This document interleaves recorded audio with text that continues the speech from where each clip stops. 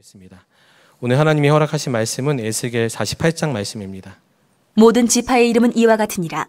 북쪽 끝에서부터 헤들론 길을 거쳐 하맛 어귀를 지나서 다메섹 경계선에 있는 하살 에논까지 곧 북쪽으로 하맛 경계선에 미치는 땅 동쪽에서 서쪽까지는 단의 몫이요 단 경계선 다음으로 동쪽에서 서쪽까지는 아셀의 몫이요 아셀 경계선 다음으로 동쪽에서 서쪽까지는 납달리의 몫이요. 납달리 경계선 다음으로 동쪽에서 서쪽까지는 므낫세의 몫이요. 므낫세 경계선 다음으로 동쪽에서 서쪽까지는 에브라임의 몫이요. 에브라임 경계선 다음으로 동쪽에서 서쪽까지는 르우벤의 몫이요. 르우벤 경계선 다음으로 동쪽에서 서쪽까지는 유다의 몫이요. 유다 경계선 다음으로 동쪽에서 서쪽까지는 너희가 예물로 드릴 땅이라. 너비는 2만 5천 척이요 길이는 다른 몫의 동쪽에서 서쪽까지와 같고 성소는 그 중앙에 있을지니 곧 너희가 여호와께 드려 예물로 삼을 땅의 길이는 2만 5천 척이요 너비는 만 척이라 이 드리는 거룩한 땅은 제사장에게 돌릴지니 북쪽으로 길이가 2만 5천 척이요 서쪽으로 너비는 만 척이요 동쪽으로 너비가 만 척이요 남쪽으로 길이가 2만 5천 척이라 그 중앙에 여호와의 성소가 있게 하고 이 땅을 사독의 자손 중에서 거룩하게 구별한 제사장에게 돌릴지어다. 그들은 직분을 지키고 이스라엘 족속이 그릇될 때에 레위 사람이 그릇된 것처럼 그릇되지 아니하였느니라.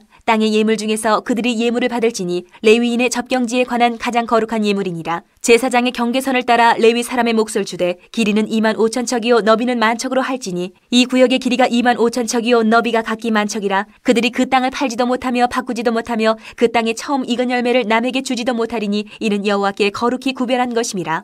이 2만 5천 척 다음으로 너비 5천 척은 속된 땅으로 구분하여 성읍을 세우며 거주하는 곳과 전원을 삼되 성읍이 그 중앙에 있게 할지니 그 크기는 북쪽도 4,500척이요 남쪽도 4,500척이요 동쪽도 4,500척이요 서쪽도 4,500척이며 그 성읍의 들은 북쪽으로 250척이요 남쪽으로 250척이요 동쪽으로 250척이요 서쪽으로 250척이며 예물을 삼아 거룩히 구별할 땅과 연접하여 남아 있는 땅의 길이는 동쪽으로 만척이요 서쪽으로 만척이라 곧 예물을 삼아 거룩하게 구별할 땅과 연접하였으며 그 땅의 소산을 성읍에서 일하는 자의 양식을 삼을지라. 이스라엘 모든 지파 가운데에 그 성읍에서 일하는 자는 그 땅을 경작할지니라. 그런즉 예물로 드리는 땅의 합계는 길이도 2만 5천 척이요 너비도 2만 5천 척이라 너희가 거룩히 구별하여 드릴 땅은 성읍의 기지와 합하여 네모 반듯할 것이니라. 거룩하게 구별할 땅과 성읍의 기지 좌우편에 남은 땅은 군주에게 돌릴지니 곧 거룩하게 구별할 땅의 동쪽을 향한 그 경계선 앞 2만 5천 척과 서쪽을 향한 그 경계선 앞 2만 5천 척이라. 다른 목들과 연접한 땅이니 이것을 군주에게 돌릴 것이며 거룩하게 구별할 땅과 성전의 성소가 그 중앙에 있으리라. 그런즉 군주에게 돌려 그에게 속할 땅은 레위 사람의 기업 좌우편과 성읍의 기지 좌우편이며 유다 지경과 베냐민 지경 사이에 있을지니라. 그 나머지 모든 지파는 동쪽에서 서쪽까지는 베냐민의 몫이요. 베냐민 경계선 다음으로 동쪽에서 서쪽까지는 시므온의 몫이요. 시므온 경계선 다음으로 동쪽에서 서쪽까지는 잇사갈의 몫이요. 잇사갈 경계선 다음으로 동쪽에서 서쪽까지는 스불론의 몫이요. 스불론 경계선 다음으로 동쪽에서 서쪽까지는 갓의 몫이며 갓 경계선 다음으로 남쪽 경계선은 다말에서부터 므리바 가데스 샘에 이르고 애굽 시내를 따라 대해에 이르나니 이것은 너희가 제비 뽑아 이스라엘 지파에게 나누어 주어 기업이 되게 할 땅이요. 또 이것들은 그들의 몫이니라 주 여호와의 말씀이니라 그 성읍의 출입구는 이러하니라. 북쪽의 너비가 4,500척이라. 그 성읍의 문들은 이스라엘 지파들의 이름을 따를 것인데 북쪽으로 문이 셋이라. 하나는 르우벤 문이요, 하나는 유다 문이요, 하나는 레위 문이며 동쪽의 너비는 4,500척이니 또한 문이 셋이라. 하나는 요셉 문이요, 하나는 베냐민 문이요, 하나는 단 문이며 남쪽의 너비는 4,500척이니 또한 문이 셋이라. 하나는 시므온 문이요, 하나는 잇사갈 문이요, 하나는 스불론 문이며 서쪽도 4,500척이니 또한 문이 셋이라. 하나는 갓 문이요, 하나는 아셀 문이요, 하나는 납달리 문이며 그 사방의 합계는 만 8천 척이라. 그날 후로는 그 성읍의 이름을 여호와 삼마라 하리라. 아멘. 하나님의 말씀입니다. 에스겔 48장은 에스겔이 본 환상의 마지막 장면을 그리고 있습니다. 각 지파의 영적 분, 영, 영토 분배가 어떻게 이루어지는지를 오늘 본문이 말씀하고 있습니다. 이 땅은 이 땅의 분배는 역사적으로 실제 성취될 말씀을 말씀하시는 것이 아니라 장차 하나님의 백성들이 살아갈 하나님의 나라, 그러니까 온전히 온전히게 차지해야 될 것을 상징적으로 보여주고 있는 말씀입니다. 그리고 이 에스겔서 48장 말씀은 에스겔서 전체의 마지막 결론과 같은 말씀이기도 합니다.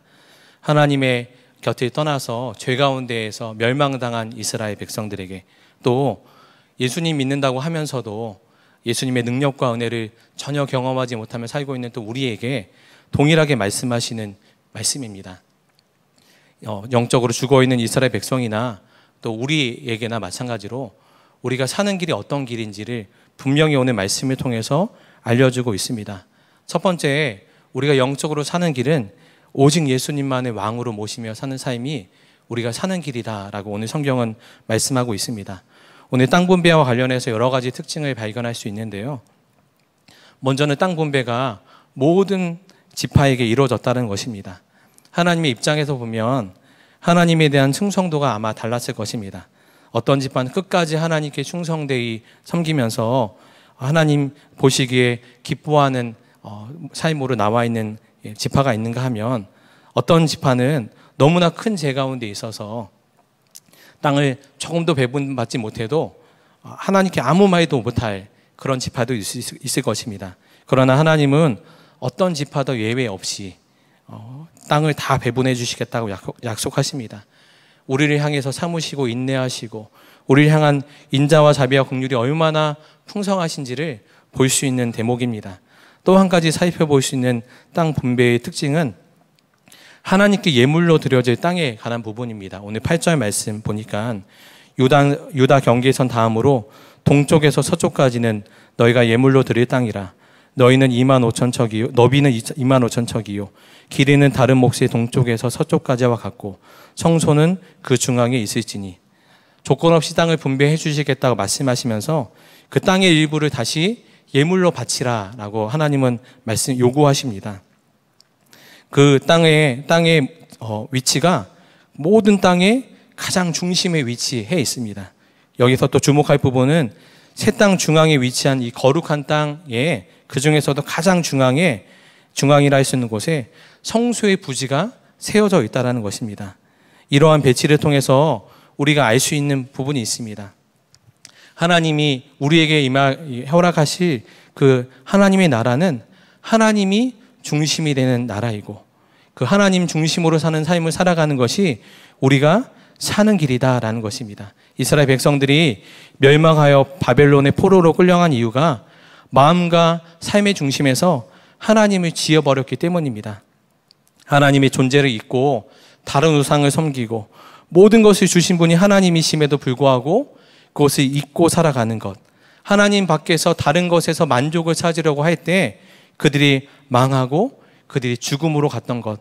그것을 에스겔서 마지막 부분에 하나님은 다시금 한번 강조해 주고 계신 것입니다. 사랑하는 성도 여러분, 우리가 에스겔서 48장까지 총 48일 동안 이 말씀을 보았습니다. 이 48장 동안 말씀을 보면서 여러분의 삶은 변화되셨나요? 이스라엘이 멸망당하고 하나님께 돌이켜야 된다. 이 길만이 사는 길이다. 라고 말씀하셨는데, 과연 우리 삶은 변화되었나요? 이스라엘 백성들이 보면서 우리는 때로는 답답하고 어떻게 저렇게 살아갈 수 있나? 하나님이 이렇게 진노하시고 하나님이 이렇게 말씀하셨는데 어떻게 저렇게 살아갈 수 있나? 우리가 그러한 눈으로 그들을 바라볼 수 있습니다. 그러나 동일한 마음으로 하나님은 우리를 안타깝게 바라보고 계신다라는 것을 우리가 이 말씀을 통해서 잊지 말아야 할 것입니다.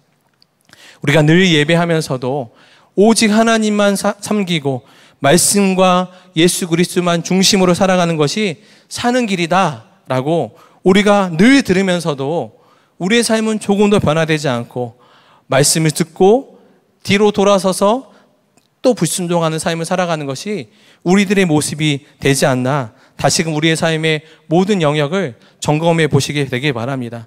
하나님은 우리에게 오늘도 동일하게 또 한 번 말씀하십니다.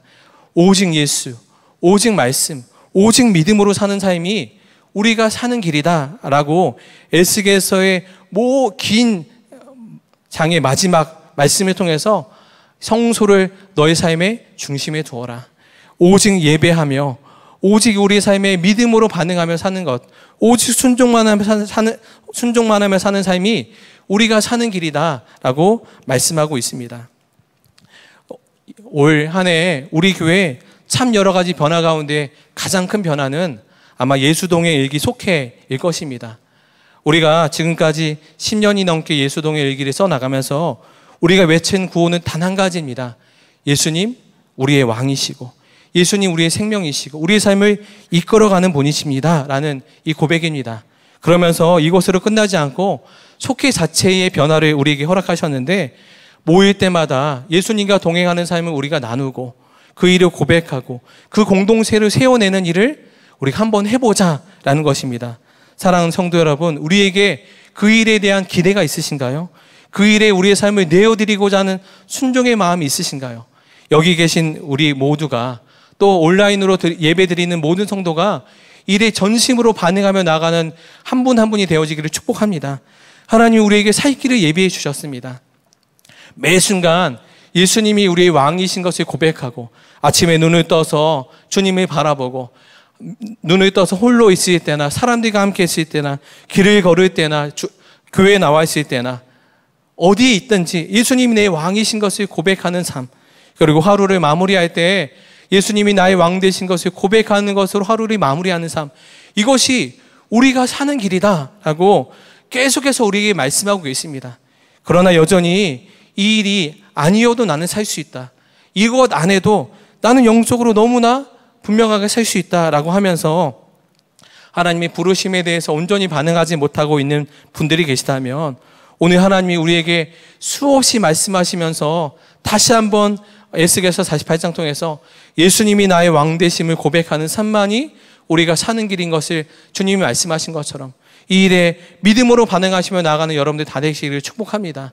우리의 말에나 행함에 있어서나 우리의 마음, 마음에 품는 것이나 말하는 것에 있어서나 모든 것에서 예수님의 왕대심만이 우리가 사는 그 일이다.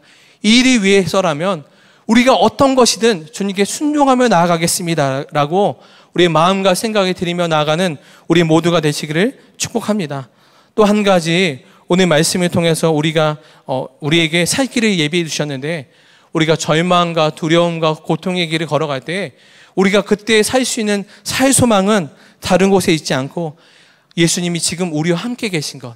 이것을 붙잡는 삶이 우리가 승리할 수 있는 이 길이고 사는 길이다라는 것입니다. 오늘 에스겔 마지막 30절에서 35절 말씀에 예루살렘 성문들의 이름과 성읍의 새 이름이 기록되어 있습니다.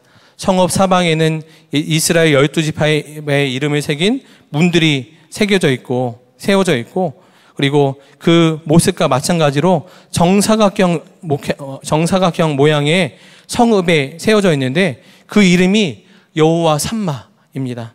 여호와 삼마 그 뜻이 여호와께서 거기에 계신다라는 뜻입니다.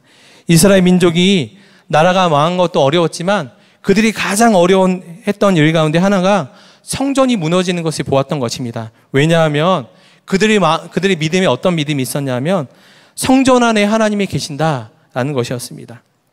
그리고 성전에 무너진 것은 하나님이 그들에게서 떠났다라는 것 때문에 그들이 어, 이 어떤 나라가 멸망한 것보다 성전이 무너진 것이 도저히 받아들일 수 없는 어려움이었습니다. 그러나 하나님께서 그들에게 새로운 성읍을 세우시고 그곳을 여호와 산마라 이름하시고 여호와께서 거기에 계신다.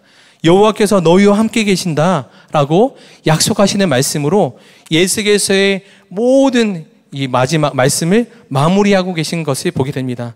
이 말씀을 묵상하면서 참 놀라운 은혜다라는 생각했습니다.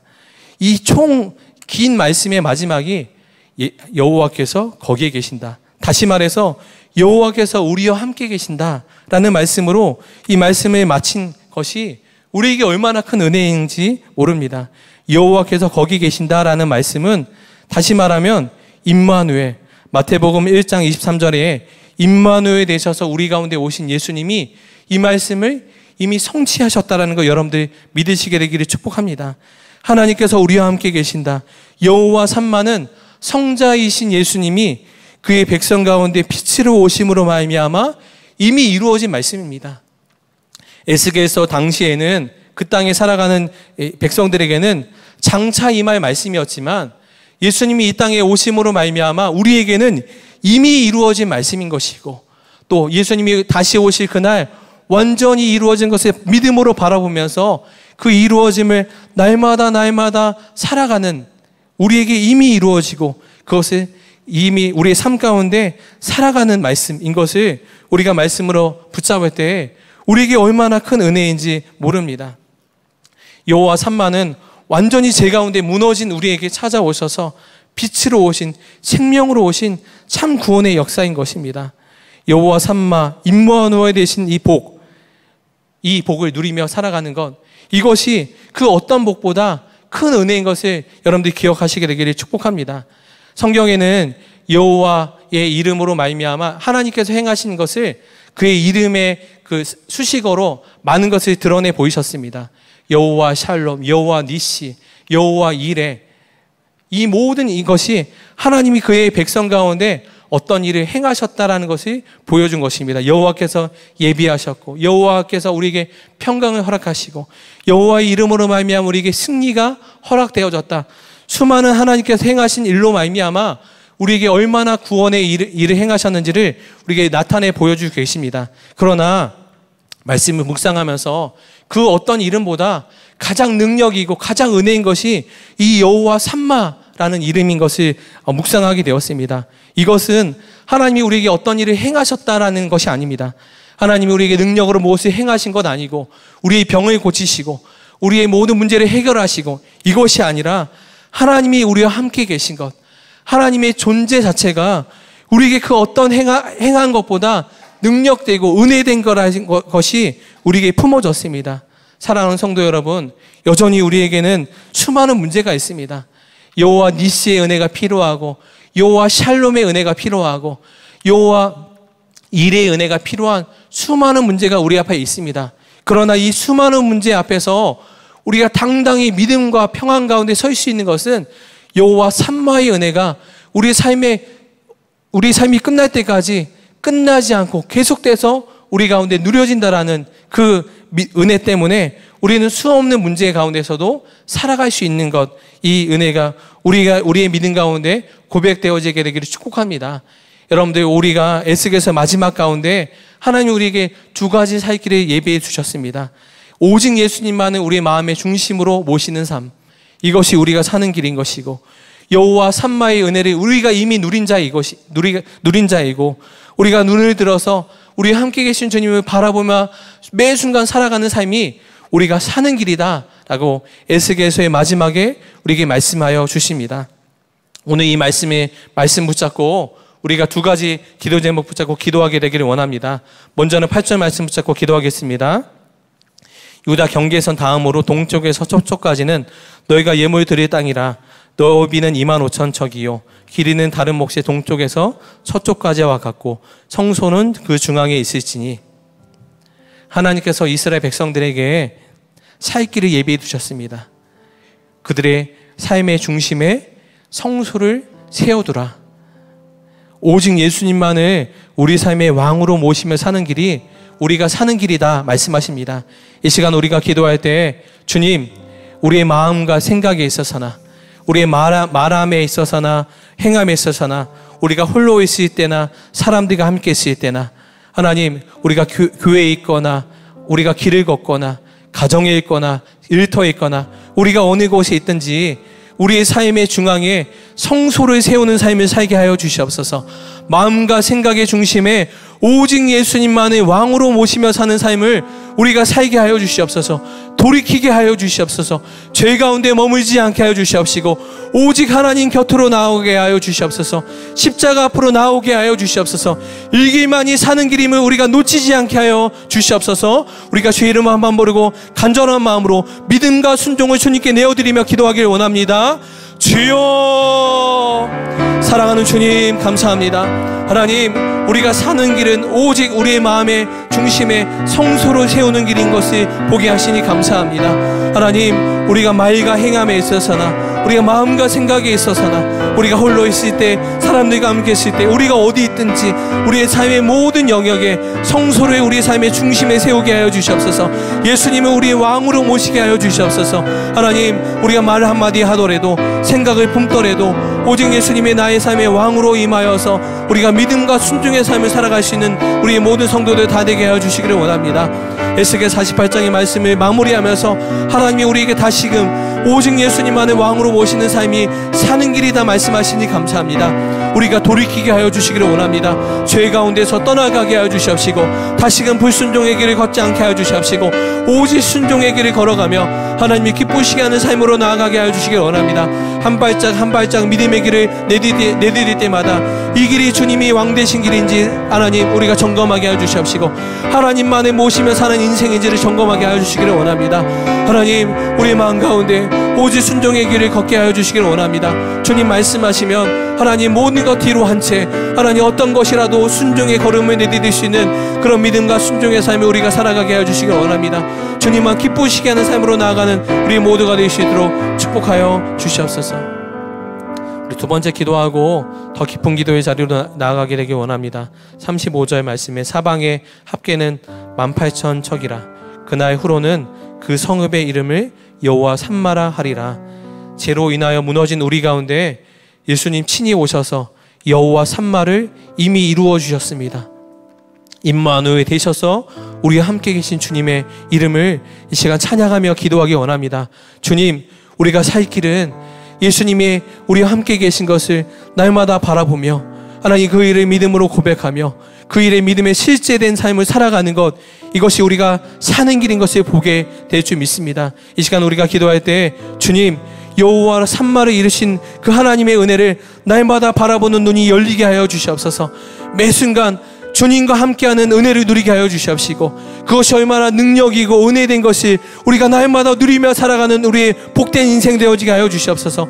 우리의 삶 가운데 역사하시는 주의 영광을 바라보는 눈을 열어주시고 그 영광의 믿음의 증인된 삶을 살아가게 하여 주시옵소서. 우리의 매 순간의 삶 가운데 우리와 함께 계신 주님으로 말미암아 승리하고 평안의 삶을 살아가는 그 믿음의 증거된 삶이 우리 증거 증거가 우리의 모든 삶 가운데 넘쳐나게 하여 주시옵소서. 우리 주 이름 한번 부르고 다시 한번 마지막으로 간절한 마음으로 기도하겠습니다.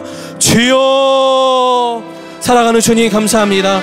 하나님 에스겔서의 마지막 말씀을 통하여서 여호와 삼마의 하나님을 바라보게 하시니 감사합니다. 하나님 하나님께서 거기에 계신다. 하나님 임마누에 되셔서 그 일을 이루신 하나님 감사와 찬양을 주께 올려드립니다.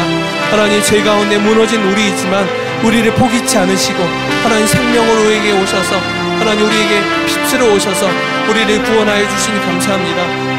우리를 구원하실 뿐만 아니라 우리와 늘 동행하여 주시니 감사합니다. 이스라엘 백성이 하나님 그들의 믿음이 하나님께 그들의 살 길은 하나님이 그들과 함께 계신 것을 다시금 믿음으로 붙잡는 것이 그들이 사는 길인 것을 보여준 것처럼 우리가 사는 길은 사는 길도 오직 큰길 예수님 우리 함께 계신 것 믿음으로 바라보며 믿음으로 사랑하는 것 이 길뿐인 것을 고백합니다.